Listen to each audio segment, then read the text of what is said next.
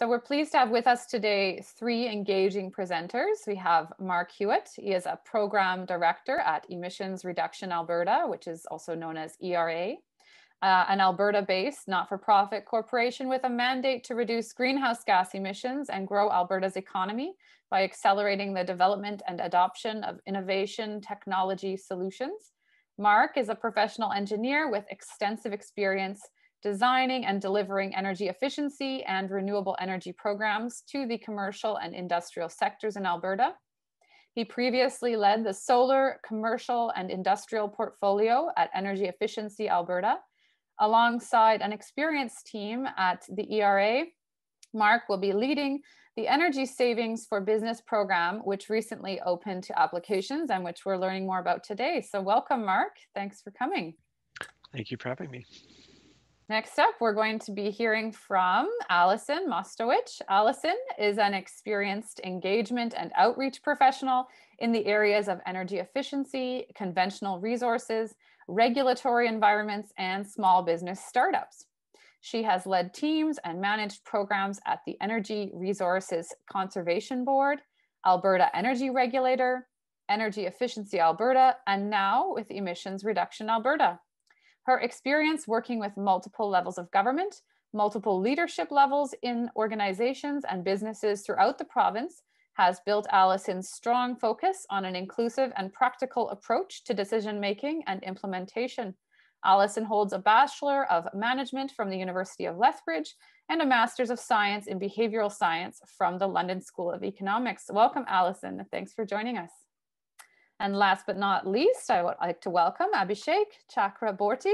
Uh, he has a background in engineering and business. He has extensive experience in municipal economic development and energy transition programming and corporate strategy business planning. Over the past eight years, Abhishek has designed, managed, and reported on important business retention and expansion programs and an update to the city's community energy transition strategy.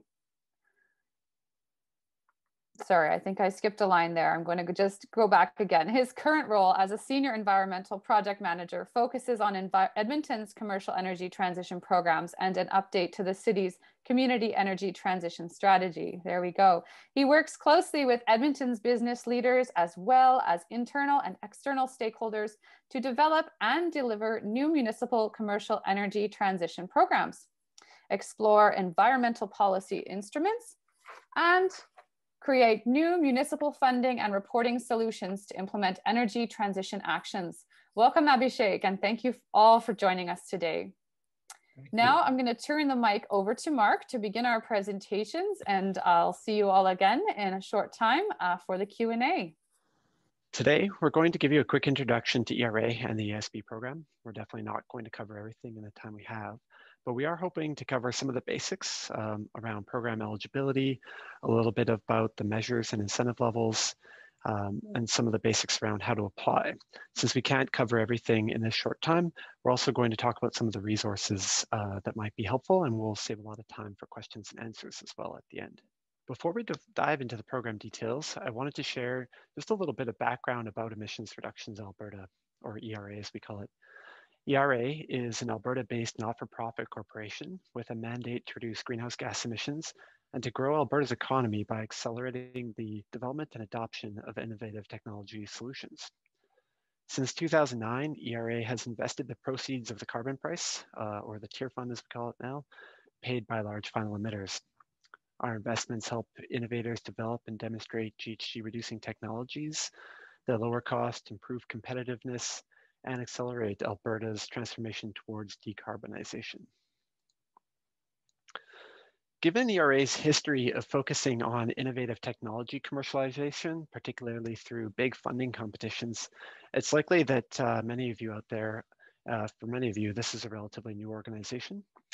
Um, but with our latest program, Energy Savings for Business, we're very excited to be a part of ERA's expanding mandate. Uh, Energy Savings for Business, or ESB, is somewhat of a new program style for ERA. Uh, it might be familiar to many of you if you participated or were familiar with Energy Efficiency Alberta style programs. Uh, but as I said, we're excited to, to now have that style within ERA as it really helps to drive increased market uptake of proven commercial technologies and really opens the door to funding accessibilities for small and medium businesses. Energy savings for business will provide much needed economic stimulus to help get people back to work in these times. It's also streamlined, predictable, and easy to use, making it much easier for businesses of all types. This program offers a simplified application process, quicker turnaround times, and a pretty broad list of technologies. And most importantly, um, compared to some of the ERA's competitive calls, this one has clear, comprehensive information about the program eligibility, and it's on a first come, first serve. I'll now hand it over to Allison, who will take you through some of the program uh, overview as well as some of the eligibility criteria. Thanks, Marc. Welcome, everybody. Uh, let's get to the details of the Energy Savings for Business program. So I know many of you have joined us on the line previously. Um, we've hosted quite a few webinars over the last few weeks. So some of this content might be familiar to you. Uh, stick with us till the end. We've got some really important information about uh, stacking programs, especially ESB and uh, the BERA program from the City of Edmonton. Um, so November 2nd, we announced up to $55 million in funding from the provincial and federal governments to support cost saving and emissions reducing projects in Alberta. This funding is sourced from a combination of sources. Um, it's sourced from the Technology Innovation and Emissions Reduction, or TIER Fund, like Marc was mentioning, as well as the Low Carbon Economy Leadership Fund. This program is aimed at small and medium scale industrial and commercial facilities in the province, though it is open to larger businesses as well. We are hoping to get these funds driving new investments as soon as possible. We designed the Energy Savings for Business program with four core purposes in mind. Energy savings for business will result in job creation and the preservation of jobs, more competitive Alberta businesses, an economic boost, and support our province's economic recovery. Very important right now. And we're going to do this while supporting technologies and projects that reduce greenhouse gas emissions and address Alberta's longer term sustainability goals. Looking at the numbers, Alberta has over 160,000 small and medium-sized enterprises, and we're hoping to reach thousands with this program. As the ESB program rolls out, we're anticipating achieving the following results. Over 1,400 local jobs will be supported as participating projects rely on local contractors and a skilled workforce. This means direct jobs such as electricians, HVAC technicians, plumbing and heating experts, equipment distributors, lighting installers, product suppliers, engineers, so forth. Provincial investment will be leveraged more than five times with other public and private investment, creating $300 million in GDP impacts and economic activity. And over their lifetime, projects supported through the program are expected to reduce GHG emissions by 1.1 million tons of CO2 and to generate $183 million in energy savings. So what does that mean for your business? On a per capita basis, Energy Savings for Business is currently the largest program of its kind in North America. Based on early engagement and surveys, which some of you may have taken, we have heard from businesses that they are eager to, eager to participate in order to help reduce their utility bills. Learning from previous programs with similar scope, we have adapted the program to be more streamlined. We know time is money to Alberta businesses and are committed to fast turnaround times. For standard applications, this can be as quick as two days. The program has been designed to reflect the realities of the pandemic. Incentive payments will be made electronically and all program materials are available in digital, downloadable format that can easily be printed by contractors or participants. We've also expanded the measures list to include categories that have not previously been offered, in efficiency programming, such as geothermal and compressed air. We have also made sure to include measures that are accessible to all businesses, like ceiling and wall insulation, refrigerated case covers, more efficient motors, lighting systems, and high efficiency windows. At the end of the day, we'll have over 300 measures to offer in this program. The Energy Savings for Business program opened to applications February 1st for projects with eligible measures that incurred expenses on or after November 2nd, 2020. Projects that incurred expenses between November 2nd, 2020 and February 1st, 2021 must submit their applications one month after the measures that they're interested in have gone live. So that's actually a change than we've previously talked about. Um, we're still rolling measures out and originally we had said March 1st, but we know that's not reasonable for measures that are rolling out closer to the end of February. So it'll be a rolling one month date from the measures that you're interested in. Some relevant incentive limits to be aware of include a $250,000 per project and $500,000 limit per parent company. There is also a minimum incentive spend of $1,000 or sorry, an incentive amount of $1,000, which means that total projects costs will need to be at least $2,000 depending on the measure type in order to be eligible. The Energy Savings for Business program has been designed to be open to as many business types as possible. Simply put, if you're a business and you own your building, you are likely eligible. Um, in our previous webinars, we've had quite a few questions about different eligibility types. Some requests for clarity came up around farm, faith-based, and Indigenous owned businesses. This program is designed to support a broad range of Alberta businesses and nonprofits. If you can answer yes to all of the following questions, you are eligible. Are you a business or nonprofit in Alberta, excluding the ineligible facility types? Are you the owner of that facility? If you lease your facility, are you authorized to complete upgrades or retrofits? Is the facility used for commercial or industrial business primarily? Does it have a non-residential electricity account? That's a key one. Does your facility have an Alberta address? And is the facility an existing building? Has it been in operation for at least one year? So you'll notice up in the corner, there's a box. These are our ineligible facility types, and those include residences, government-owned facilities, publicly funded institutions, including if you receive 50% or more of your funding from a public authority, industrial businesses or facilities classified as large emitters or opted into the tier regulation, and new construction. So that little star at the end of new construction is the, the exemption. Um, solar PV, geothermal, and CHP are exceptions to the new construction rule and are actually eligible. So what about contractors? Contractors, including product and service providers, are the backbone of any successful energy efficiency program. Participants will rely on skilled contractors to plan and design systems, select appropriate technologies, and install high quality projects. In many cases, contractors will often manage applications for participants as well. To help ensure the program's success, we do require that all participants use eligible contractors as primary contractor for their project.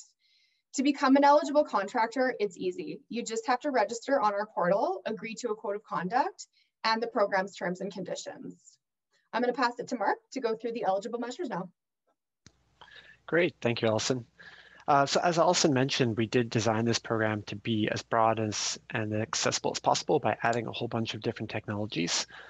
And um, we don't want to go through all of them today, but this slide sort of shows the, the high level measure categories. So on February 1st, when we launched, our launch included a whole range of measures um, spanning compressed air, solar PV, lighting systems and controls, motors and drives, which includes kind of a whole bunch of different energy efficient motors and variable frequency drives, uh, combined heat and power, a wide range of refrigeration technologies, and geothermal.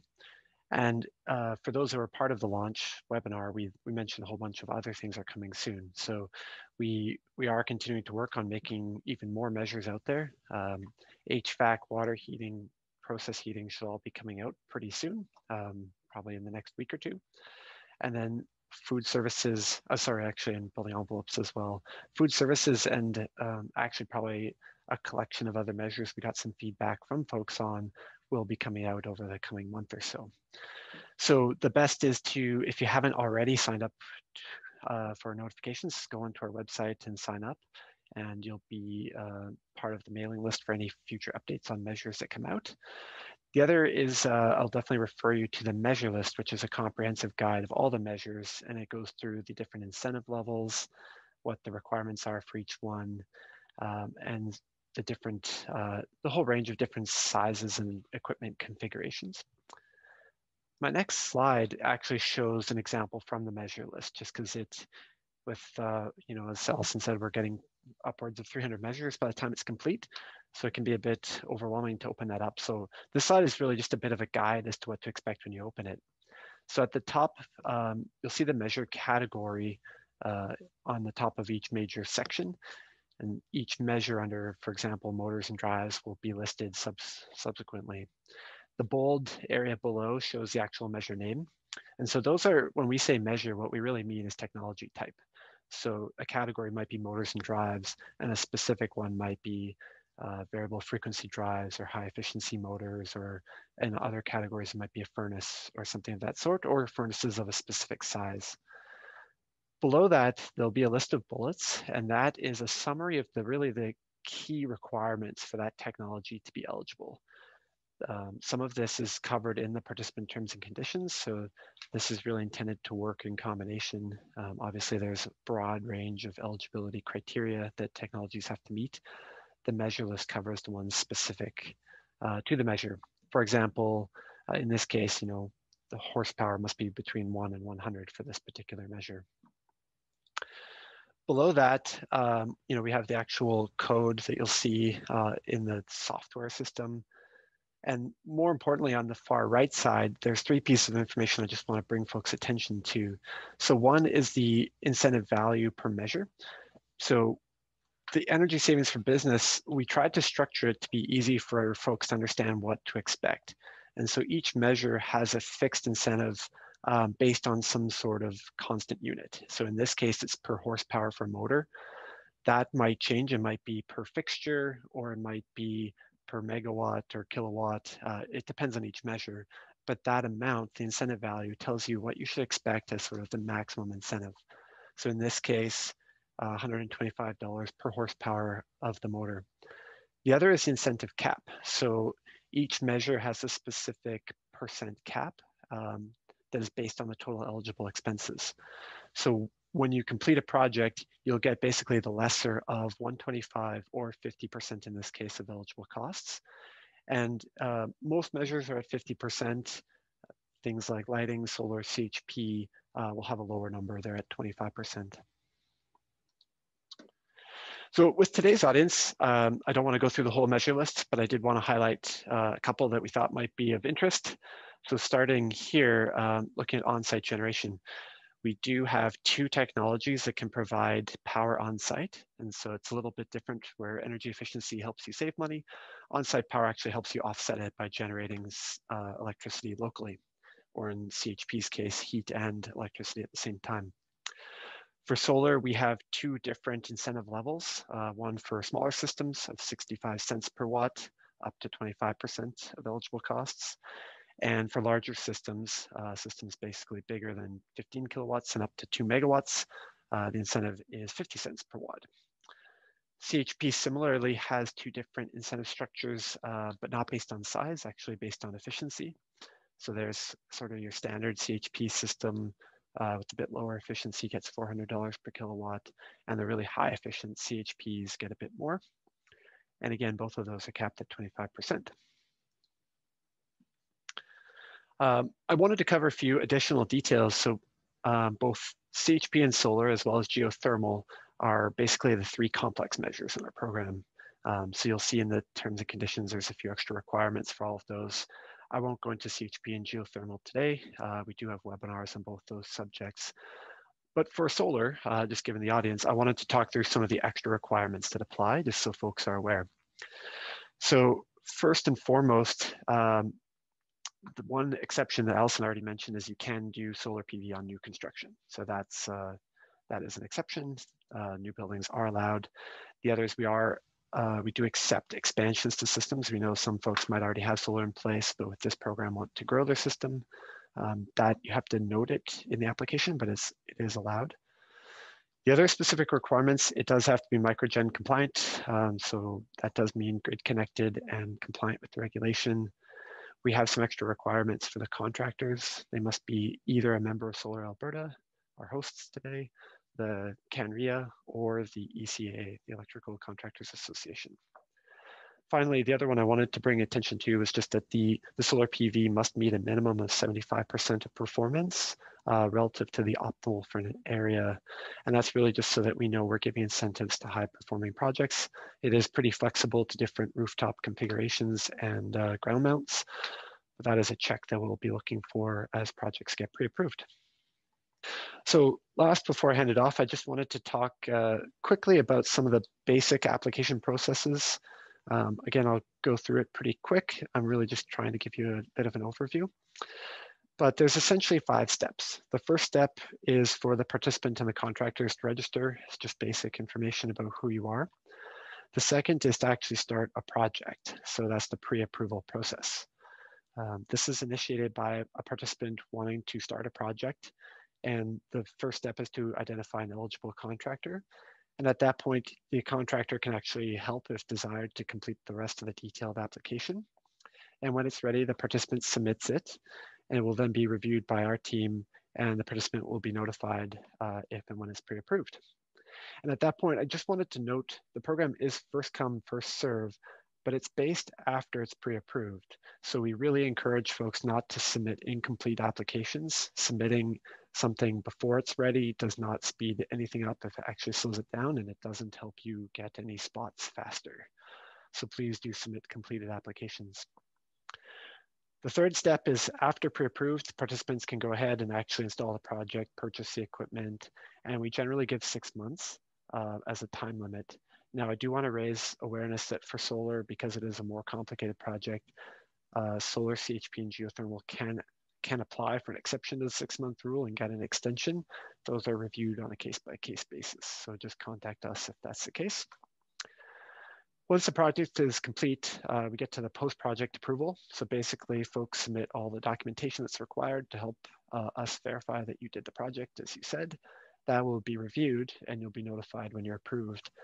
At that time, uh, we basically just ask for bank information and who the money should go to. We verify it and incentives are paid within four to six weeks.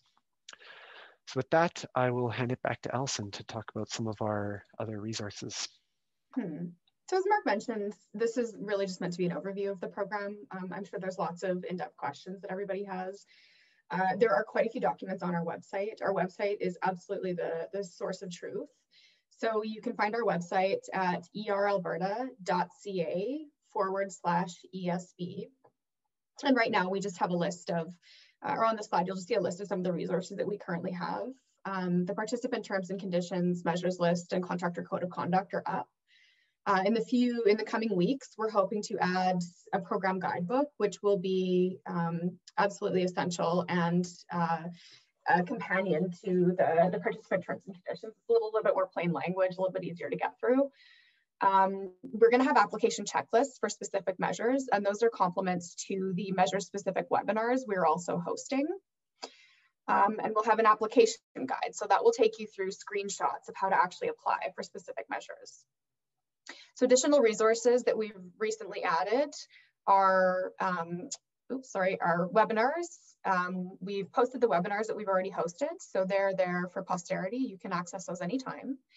We've got the program brochure, which is a one pager that you can use for clients or even within your own organization if you're interested in accessing measures. And we've also got a really robust list of FAQs to start with. Um, so sorry.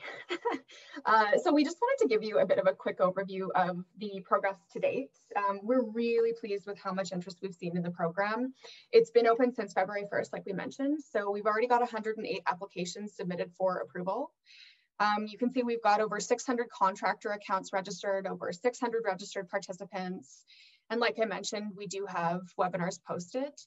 Um, this week, we actually hosted two webinars already. So we hosted the motors and drives webinars on February 16th. February 17th, we had the solar PV webinar. So if you weren't able to catch that one, please go to our website. We've got it posted, or we will have it posted there shortly. And then today at two o'clock, we're hosting the lighting systems and control measures. Um, that's That'll be available on our website. So please register if you have an interest in that. And again, if you missed anything, it will be on the website. We've got a really robust library of resources available there. So finally, our contact information. Um, so like I said, the website is the source of truth. Um, we've got an email and a phone that is dedicated to this program. So if you do have any questions or can't find anything on the website, please do reach out. We also have a chat function available on the website and in the program portal. Um, we've got a LinkedIn account and we've got a Twitter account. So if you're looking for updates on the program, you can stay updated that way. And Marc already mentioned, but the best way to get updates is to sign up for updates on the website. Those are absolutely the most immediate updates that you can get. So with that, I will hand it to Abhishek from the City of Edmonton to go through the BERA program. Thanks, Alison. Good afternoon, good afternoon, everyone. I'm here to talk about uh, the City of Edmonton's Building Energy Retrofit Accelerator Program, also called BERA. Uh, here today, uh, it is a program that can be stacked with uh, the energy emission reduction Alberta's uh, program. So uh, I, I, for today, I'll be the topics that I'll be covering over the next 10 minutes will include uh, the eligibility uh, requirements for uh, applicants for BERA. I'll also uh, talk a bit about the measures list and also the application process and we'll end, uh, end up talking a bit about the commercial programming at the City of Edmonton because one of the program is required uh, in the participation in one of the program called uh, Building Energy Benchmarking is required for an applicant to be eligible for BERA. So in terms of the uh, eligibility requirements for BERA, uh, I wanted to first talk a bit about the objectives that we are trying to achieve uh, through the BERA program at the City of Edmonton. I, uh, for most of the commercial and the residential programs that uh, the City of Edmonton has uh, implemented, our main objectives are to encourage deep green retrofits. By that, I mean um, as much uh, greenhouse gas reduction as can be achieved uh, realistically from uh, the solutions that are supported through a City of Edmonton rebate program. Aside from that, we also uh, use this as a medium, uh, use all our commercial and residential programs as a medium for uh, strengthening our existing relationships with the businesses, local businesses and organizations within Edmonton. And finally, we hope to achieve um, uh, market transformation through all our uh, programming. And we also hope that uh, if and when there are any sorts of sort of regulations uh, that come into play, Edmonton businesses are ready to capture and seize those opportunities. So we are proactively helping businesses prepare for uh, the future energy transition within uh, Edmonton. Now get into the program eligibility part for uh, BERA. Uh, so some of the program eligibility part, uh, eligibility requirements are similar to the uh, emission uh, reduction Alberta's program. So for us, the building type uh, has to be a commercial building or an institutional building within, or a multi-family residential building, the common areas only and light industrial buildings within uh, the city of Edmonton's municipal boundaries. Uh, one of the other requirements that is a bit unique to BERA and uh, is the requirement for the building size to be greater than 10,000 square feet uh, for now. Uh, and uh, the last requirement, as I mentioned at the beginning of my presentation, is that uh, the building also, like anyone applying for BERA, also needs to register their building for the Building Energy Benchmarking Program, uh, offered through the city of Edmonton. Uh, in terms of uh, the requirements uh, for uh, applying for the program, all the eligibility requirement as well as the application requirement are available on the City of Edmonton's website. So I would encourage uh, all of you to go and visit the City of Edmonton's website uh, at your own leisure to uh, see what exactly do you need to apply for the programs. But overall, there is an online application that needs to be filled out. And then we also require a proof of registration in the building energy uh, uh, benchmarking program uh, for the city of Edmonton. And uh, tenants are also eligible to apply for the, uh, for the BERA program. Uh, we also would require a copy of your utility bill or anything else that proves uh, that you are a functioning business or, or an organization within the municipal boundaries of Edmonton. And then we also require a signed uh, terms and conditions document from you. And once you complete the uh, installation, we would need a copy of the invoice uh, along with uh, the details of what the installation, uh, what, what kind of installation has occurred. I'll uh, now get a bit into the rebate maximum and caps. Um, so for most of the measures, uh, uh, the eligible rebate can be up to 50% of the equipment and the labor cost. Uh, aside from that, uh, there is a minimum uh, rebate per application amount that is required for participation in the BERA program and which is $1,000. Aside from that, the maximum rebate per building per project per program year is $75,000 if you if you don't uh, uh, include a heat pump uh, in your uh, installation, if you uh, decide to install a heat pump, it can go to a maximum of $125,000. Uh, tenants do not count towards the building cap, but a maximum rebate per company per program year is $150,000 per year. so you cannot exceed that amount for any given program year. And our program year usually runs from March of uh, uh, March of a year to uh, the next March. Uh, that is how the uh, program cycle works for us. So mm, just uh, for you folks to know.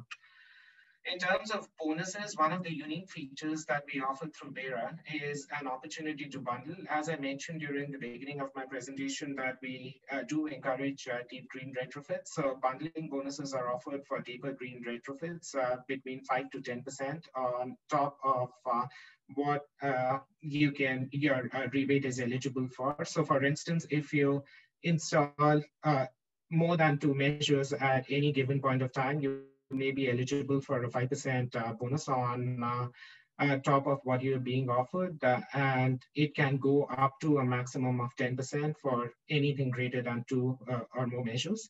Uh, there is also a certificate, energy certification bonus that's offered through the program, which can go up to 50% of the cost of the application fee or $10,000, whichever is uh, more. And then this can also constitute to a 5% additional bonus on top of the bundling bonus for uh, eligible and participating buildings. Uh, I'm not going to get into the details of the kind of certification uh, that is allowed under uh, BERA, but uh, it's for you to see on the presentation. Like these are some of the certifications that can make you eligible for the certification bonus. I now get into the eligible measures part of the presentation. And I just quickly talk about the measure inclusion process. So during the design of the program, the way we decided on the type of measures to be included was on the ability of a measure uh, to meet the lifetime carbon abatement threshold. And then also the measure being compatible with uh, deeper green retrofits. And then an industry need based on the stakeholder consultations we had for a rebate uh, for encouraging a particular type of measure.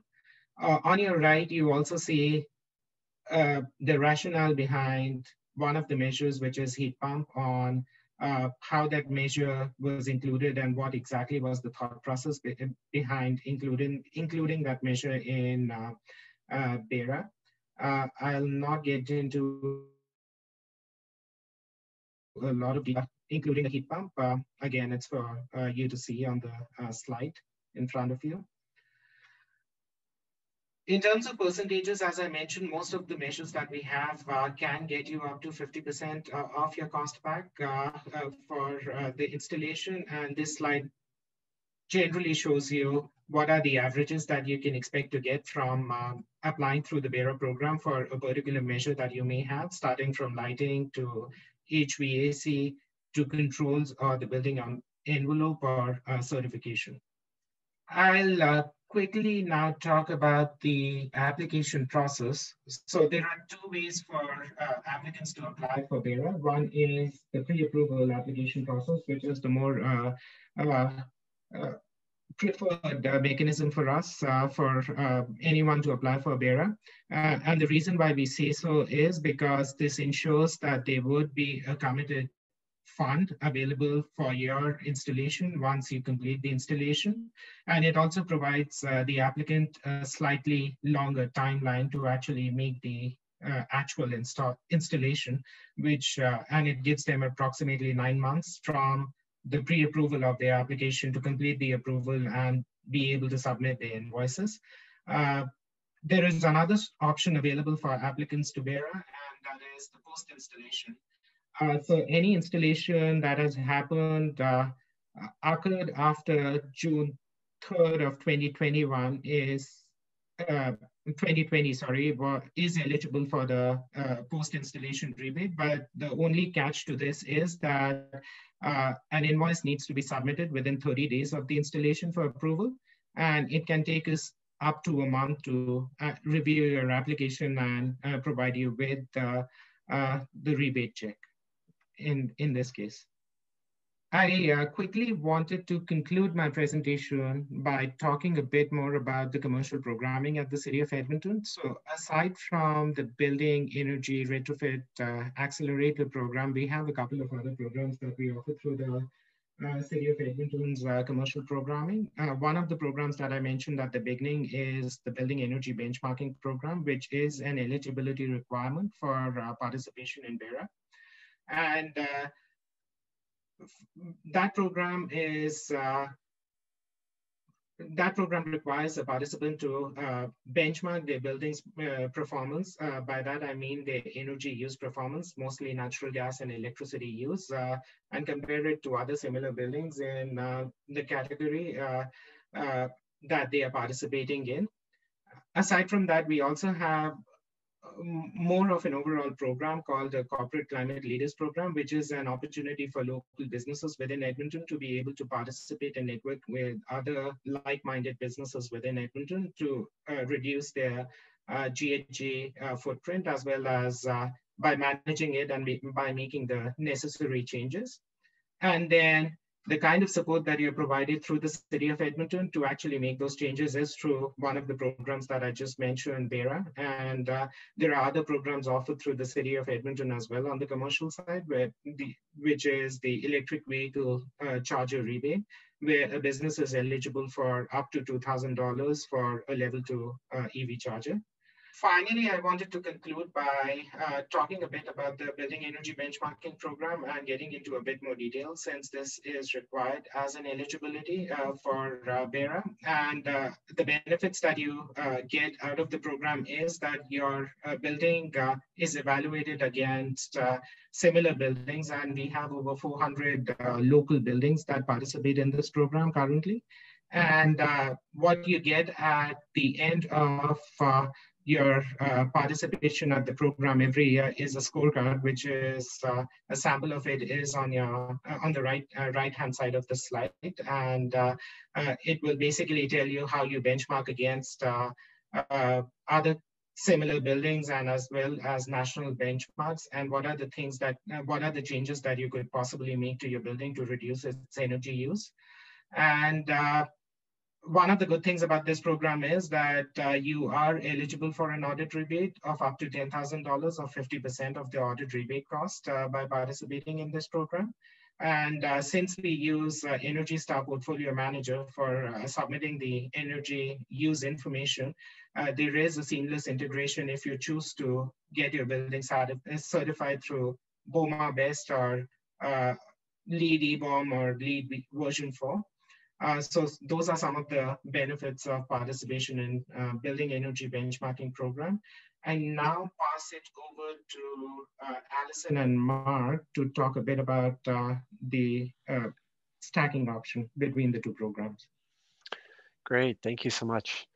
So as uh, many folks have expressed interest so far, we wanted to spend a bit of time talking about how the two programs together and um, since the City of Edmonton and Emissions Reductions Alberta really recognize the benefits of participating in both programs, we wanted to offer an approach that allows people to access both programs and to understand how the two work together. Um, so first, uh, obviously, it probably goes without saying this applies only to facilities within Edmonton city bounds. Um, projects outside of Edmonton won't be accessible to BERA, so they'll proceed through ESB quite normally. And similarly, this applies only to measures that are in both programs. So folks can uh, complete projects with measures that are only in one of the programs, and that would basically just proceed under each respective program normally. And in each program, um, I believe there's going to be some sort of like on our program, you basically have to check off and disclose other funding contributions. So if you're thinking of applying to ESB and BRA and BERA uh, you would check off and disclose that you're considering an application or have an application in. And then how it works is basically that um, you can access incentives from the ESB program and then get a top up through BERA up to a maximum of 50%. And so what that means is uh, the ESB program will calculate what your incentive would be, um, whether that's limited by any caps or percentages and whatnot. And then basically when the project is complete, if that doesn't sum to 50% of the eligible costs, BERA will be able to top up the incentive, um, either up to the maximum of 50% or uh, any other BERA limit. So if, if you're approaching like a company or project limit, even with that, it might be slightly lower. Um, but that really allows sort of the optimal participation where we, we can enable both programs and we recognize there's value in both programs and uh, folks can get you know, a bit of extra funding potentially depending on the circumstances. Um, our next slide actually walks through a bit of a visual demonstration of how you actually apply. And we've tried to simplify it. it it's it probably sounds more complicated than it is. So I'll do my best to make it sound nice and easy. But basically, participants can register to either of the two programs uh, ultimately at any time. And the beginning of the res registration process is quite standard. So you basically apply to ESB or BERA or both at the same time and fill out the normal pre-approval applications other than checking off, yes, we're accessing another program. And behind the scenes, we'll be basically communicating so that uh, on our end, we're aware of when one project is in both and that there's a stacking opportunity. Um, when that's identified, BERA will contact folks to let them know that they are affected by incentive stacking and therefore the pre-approved amount might change. Obviously, if you're limited by 50%, one of the two programs, uh, in this case BERA, will issue the top up, which might be lower than the initial amount. And then after pre-approved in both programs, the project can actually get completed normally. So that's uh, sort of that middle step of both, both end. And then where the magic happens is once the project is complete, in order to keep the administrative side simple and clear, we've just decided basically when the project is fully processed and fully reviewed, the ESB program will pay first. So we'll conduct our final reviews of all incentives, uh, all the eligible costs and make sure that the project as completed gets paid. And then we'll provide that information to BERA, who will then calculate the top-up amount and issue that incentive payment after. So it, I guess it looks complicated, but really the only thing to note is one, make sure you do get pre-approval from both programs. Two, you uh, will get a notification later that's indicating that you're affected by stacking. And then three, the BERA payment will be a bit later than normal because they're going to be waiting on us. So don't get uh, don't get mad at the good folks at Edmonton. It's probably that they're waiting to hear from us. And before I leave us today, uh, there were just a few other considerations. I think we've probably mentioned them a few times throughout, but this is just a little mini summary. So obviously the most important thing too is make sure you're eligible for both programs. Um, there are different conditions and this table is a little bit of a summary of them. It's definitely not exhaustive, but one example would be the size of the facility. BERA has a, a minimum facility size, ESB doesn't. So if you're a smaller facility, you'll only be able to use ESB, you won't be able to stack. If you're bigger, you might be able to stack. Um, there are different incentive amounts affected. Um, so ESB has 250K incentive maximum per project. With BERA, it's a bit different. So those may or may not affect your stacking. Um, really depends on the size of your project. We have different parent company limits as well. And some of the eligibility is a little different. Um, so BERA will have, you know, for example, institutional facilities that won't be eligible in ESB. So um, again, it's really about looking at the criteria for both programs. And if you do match on both, then flagging that you're going to apply to both. Then um, the final is that uh, BERA does have a couple of bundling bonuses and other types of things. Those are calculated outside of the stacking since that's not part of ESB. And again, um, there are some really probably specific details about the measures, but in general, uh, if you're looking at lighting systems, refrigeration, VFDs, or HVAC, those are really the areas where they do overlap quite heavily. And so you might have an opportunity if you're doing one of those to access both programs. some of the industrial measures, let's say, are only under ESB. So with that, um, hopefully that makes sense to folks and I'll maybe just stop there and leave time for questions. And again, thank you so much for having us. My, my first question is, if you're eligible for the BERA program, and I, my understanding from listening to the presentation is that would be maybe up to 50%. Why would you also apply for the ERA program? What would be the rationale for that?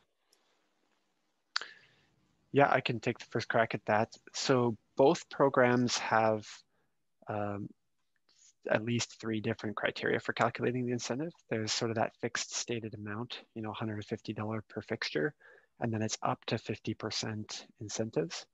And then there's the project limits. So the the 50% is not always right. So there might be situations where the $150 per unit is lower than 50% the 50% is really more of a cap. So most of the time there'll at least be some room to top up. The other would be um, you might have hit your project limits. So it's possible you have a very big project and you've maxed out one of them mm-hmm. and you're mm-hmm. not getting that full 50%. So yeah, that sounds a lot like when you, you know, if you and your spouse happen to both have a insurance plan and you know one of your plans tops out at 80% coverage then the other one can kind of For sure. top yeah. a lot like that hey just uh, not the other, obviously. yeah, the other is that product costs vary quite a bit. So when we make our menu of incentive levels, that's based on an average. So, you know, a higher product cost will max out the one while not being anywhere near the 50% as well. Okay, okay, thank you. I was also curious, uh, you know, hearing about what Edmonton has going on in this area it made me wonder are there other municipalities that are also stacking with you folks at ERA, or is Edmonton alone in the province in, in doing this type of uh, additional programming? Yeah, so um, I don't want to say other municipalities don't have programs. Edmonton was by far the biggest and the most proactive in reaching out. And really, it was a discussion on recognizing that they have a very large and very similar program. Ours is a large and similar program how do we want these two to work together?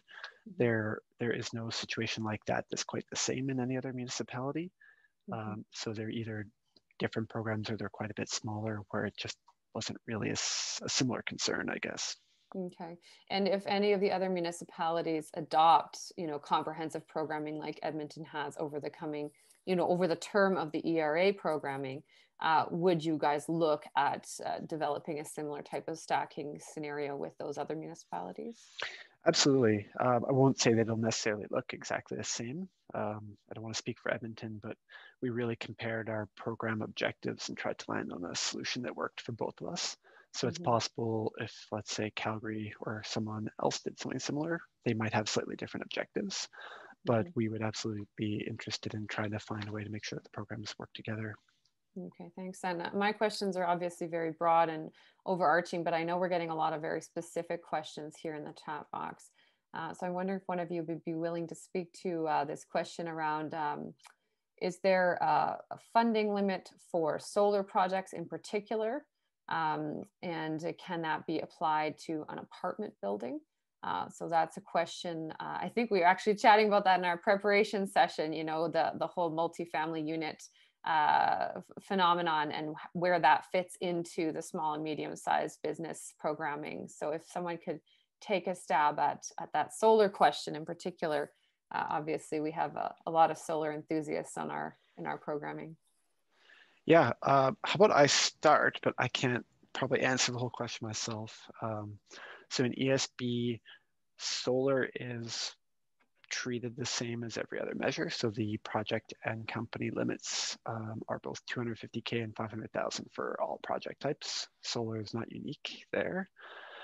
And um, we do allow the common spaces of multi-family residential buildings. So if solar PV is being put on the rooftop and is a shared utility, um, that would be eligible, which I understand is the tiny narrow band of overlap we would have with the Edmonton solar program. Okay. Thank you for that. Um, it looks like another uh, the question popping up here are there restrictions to ensure local contractors and tradespeople are used to keep all of the incentives here in alberta? So um, what types of you know i think there's a lot of people saying buy local you know support local economy. So um, do you have any restrictions around that uh, this time? I guess again I'll, I'll just jump in from esb side that that is a tricky thing to regulate. Um, so we do have eligible contractor standards, and all of the projects do have to be located in Alberta. Um, we don't have any specific geographical limits on where the products were purchased or where the service providers come from. They obviously do have to meet all of the Alberta qualified uh, requirements, as well as permitting and everything like that. So we we for sure obviously want to see the supporting jobs in Alberta, but being a a country where lots of work is completed um, by folks from all across the country and products are purchased from all across the country. Um, it's just not a, a, limitation that we can put in place. Um, but obviously, in reality, most of the time, the labor is being done quite locally. Mm-hmm. So it's it is kind of trending the way we want it, but it's difficult for us to mandate it right in terms of business ownership in particular probably. Mm-hmm. yeah Abhishek, i don't know there... if you yeah so there is it's my response would be similar to Marc's. Uh, we don't really have a restriction on where the contractor is from uh, and uh, uh, yeah as of now but that's a good point. It's like but yeah going back to what just Marc what mark just said i think uh, it's a bit difficult to restrict uh, the contractor to a geographic location especially with programs such as these yeah, and particularly with a municipally based program, I don't think you could really. Uh, it'd be very challenging to to restrict it to just Edmonton based companies. So uh, that would be I could see that being challenging from an administrative perspective. Thank you for those answers. I have another um, broader question here. Excuse me. I know the city of Edmonton has their solar rebate program for homeowners for residential.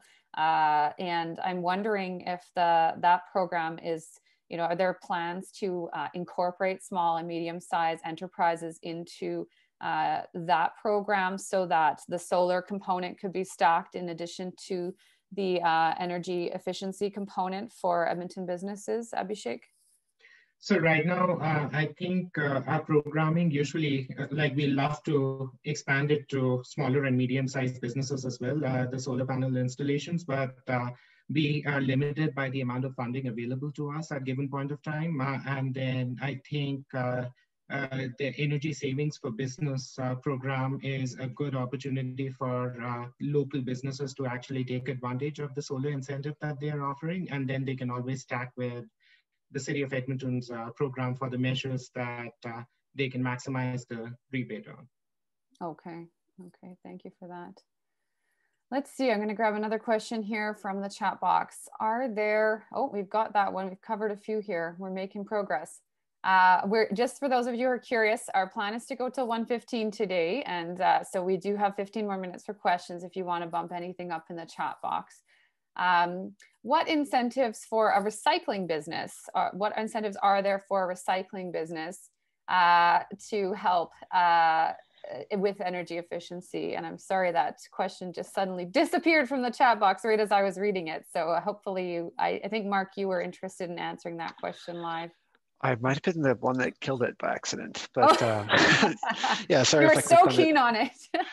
um, so I think the question was asking about waste reduction specifically. And um, so at this time, all of our technologies supported are either high efficiency technologies or on-site energy generation technologies. So we don't have anything specifically tackling a waste reduction.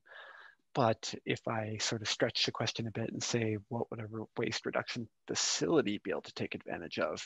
Um, they would for sure have likely motors, pumps, compressors, HVAC, lighting, and definitely the potential to put solar PV on.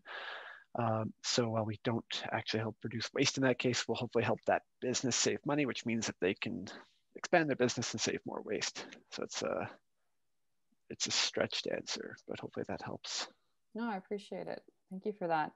Another broader question I have is, and I know I know when I sit in on on all of these uh, technical sessions, as I sat in a bit on the solar PV one yesterday, uh, you know, some of the the jargon and the the technical details can be fairly overwhelming to to those of us who don't have a technical background.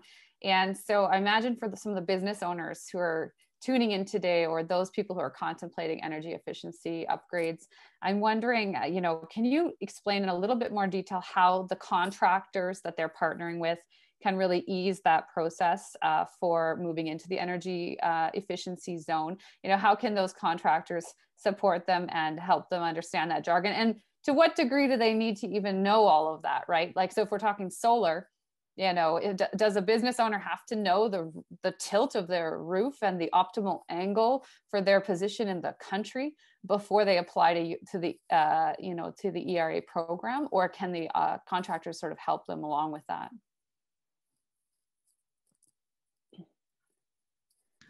Okay, I'll uh, I'll start, but maybe Allison can jump in. So, or Abhishek as well. Uh, we did try to structure the program so that the participant can do as much or as little as they want. Um, just recognizing there's some participants who are super keen and really want to control the application process and um, they definitely can proceed with completing the application themselves. They do have to highlight which contractor they're working with, but they can fill out all the paperwork, paperwork, virtual paperwork themselves.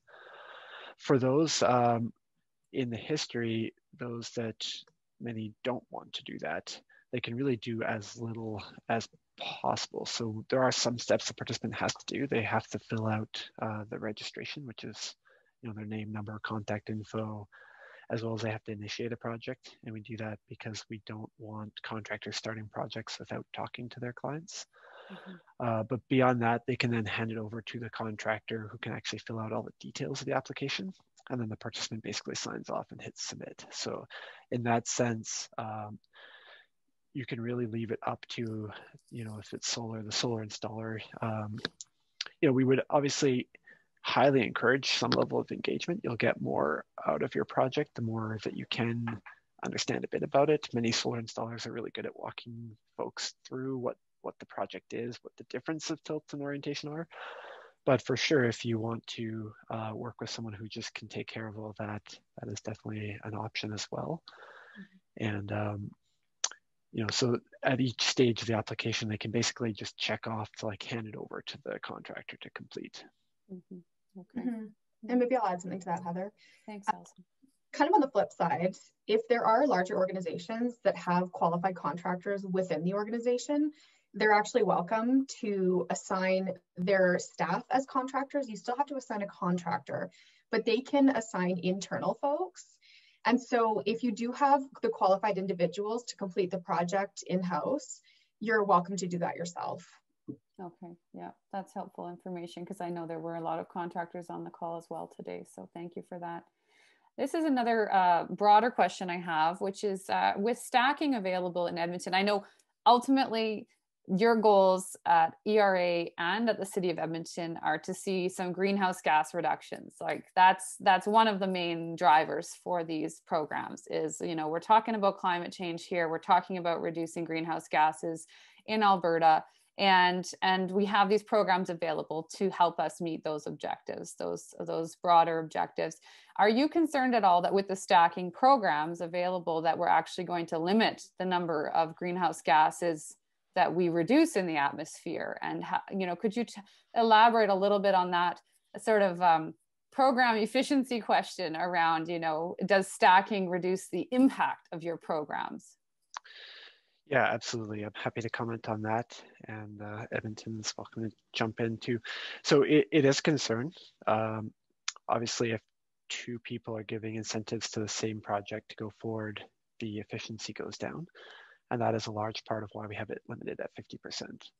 And as you sort of commented, most of our program measures are already limited at 50%. And for sure, that's not what the average will be.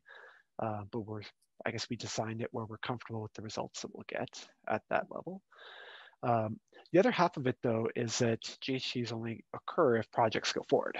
So, uh, while we all individually try to design our programs to get the right level of uptake to hit our objectives, um, having a municipality come in with their own funding to help reduce the burden on the participant from their side, um, that's actually just a, a, great use of funds locally.